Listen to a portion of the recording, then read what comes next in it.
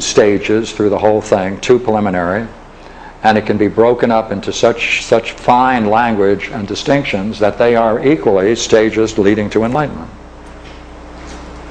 And the ninth one, each one, uh, four of them, major ones, uh, are showing man relating and trying to control, catch, get your sight of, finally control and ride the ox, which is getting to know oneself on higher and higher levels.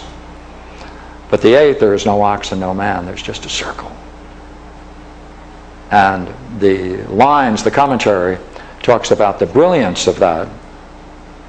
And that's, of course, the most brilliant light of being. Therefore, sometimes this is called uh, the most brilliant light of being. It's also called luminosity, the experience of luminosity, divine radiance.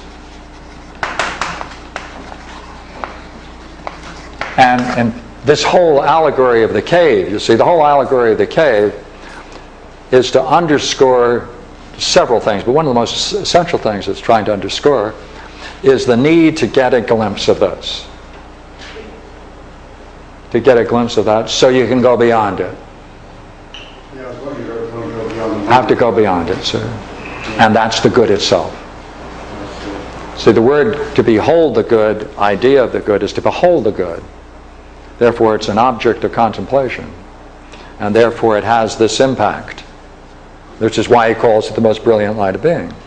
Now, there's a, several great lines in here that one of the most difficult things to deal with uh, when you're dealing with the allegory is where he's making the distinction between the idea of the good and the good itself. And you have to be a very careful reader to see how he's making that distinction. And uh, it's very, very well done, very compact, very precise. So, uh, I, I, I, hope I answered your question. Then he goes into the state of non-knowing. That's right. The knowing beyond knowing. That's right, because the good is not an object of knowledge. That's right. But this can be, the idea of the good can be, since that can be known.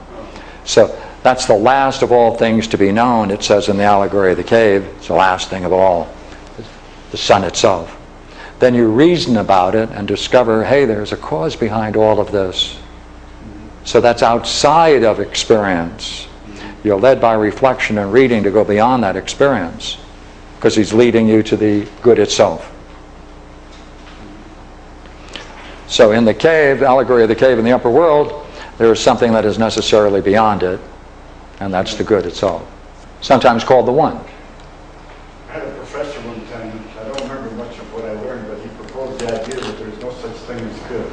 I know, a lot of people, a lot of people do, yeah, yeah. Now, if he's a metaphysician, he's right. If he's a normal person, he's wrong. Because the good is not, the good, the good is not an object. And in that sense, it, it can't be related to as an object. If he's a metaphysician, he's right. If he means it in the popular sense, he's foolish. Yeah, well, he was a philosopher. I think he was a Platonist. The University of Washington. Well, let's hope he was a metaphysician as well. Oh, okay. Just to make sure. Uh, the it's, it's, a very important point. I'm very glad you brought it up. Look, uh, this, you see, the, di- the goal of the dialectic in Plato's Republic is you then must turn on this experience. You must turn on this experience itself and apply the dialectic. Because in that experience, you are going to make certain implicit uh, claims about the very nature of, of what it is you experience. And the most interesting one you're going to make, regardless of what tradition you're in, is that you have finally reached what is, the capital I.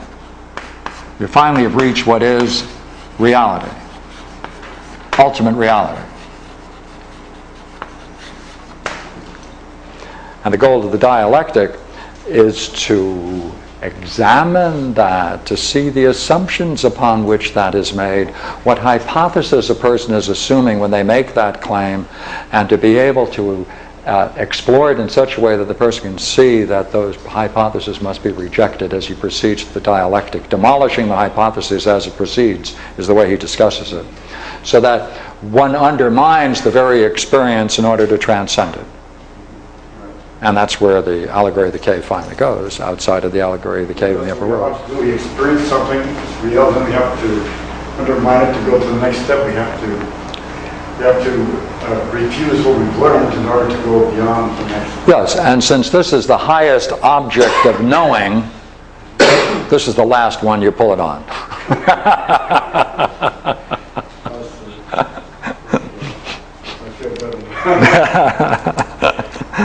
Yeah, um, if you want, um,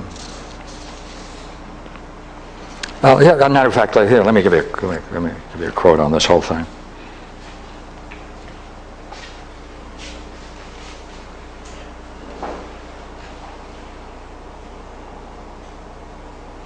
He's talking about these studies, the earlier studies. And he says, uh, Oh, the and the few which do take hold of truth a little, as we said, like geometry, and those which go with it, we see they, they're in a dreamland about real being. And to perceive with a waking vision is impossible for these arts so long as they leave untouched the hypotheses which they use and cannot give any account of them. For when a beginning is something a man does not know, and the middle and the end are woven of what he does not know, how can such a mere admission ever amount to knowledge? Then the dialectical method, the dialectic method, proceeds along by this way, demolishing the hypothesis as it goes, back to the very beginning itself, in order to find firm ground. The soul's eye, which is really buried in a sort of barbaric bog, it draws out quietly and leads upwards, having the arts we described as handmaidens, helpers. And these have often been termed sciences from habit, but we need another name. One clearer than opinion, dimmer than science, understanding. So this is the dialectic, therefore, uses the understanding as the particular way of contemplating. It's a rational, see, it's a rational, intelligible contemplation that breaks through this into that about which you cannot say. Buddha gives the idea, he says, have this canoe, you get across the other side, you don't need the canoe anymore, then you No, away. yeah, yeah, yeah. So then, uh, just to pull this together in a little more ordered form, now, he now wants to turn to give the final dialectical exercise.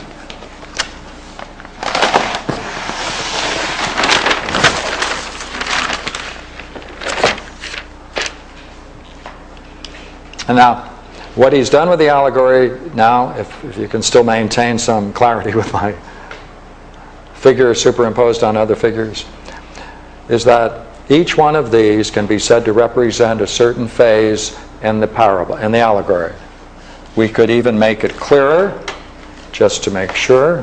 All right, look here. This is what we're doing.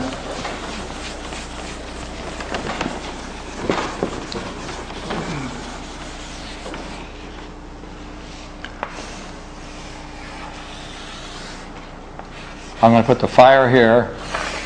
I'm going to put the wall of the cave here. Therefore, this is image thinking.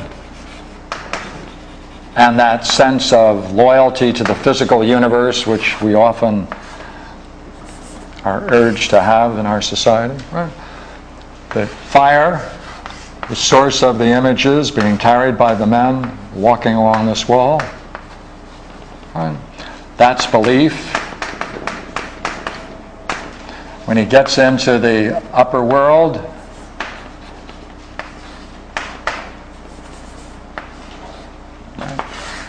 that's understanding.